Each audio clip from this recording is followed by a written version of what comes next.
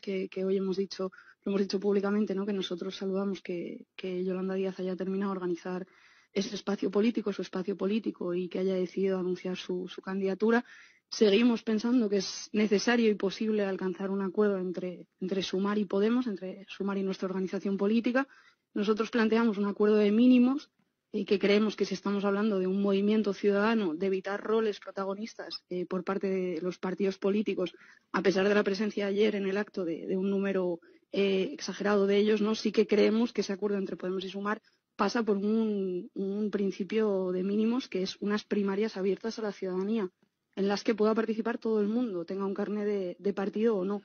y en ese sentido pues no entendemos las, las resistencias a acordar unas primarias que permitirían abrir la participación, que todo votante progresista eligiese a sus representantes de manera democrática y luego también pues por ejemplo zanjar el debate sobre el espacio que deben ocupar los partidos eh, dejando que la gente decida, ¿no? Algunos parece que prefieren cerrar acuerdos en, despachos, nosotros lo creemos que lo que hay que hacer es abrirlos a la gente.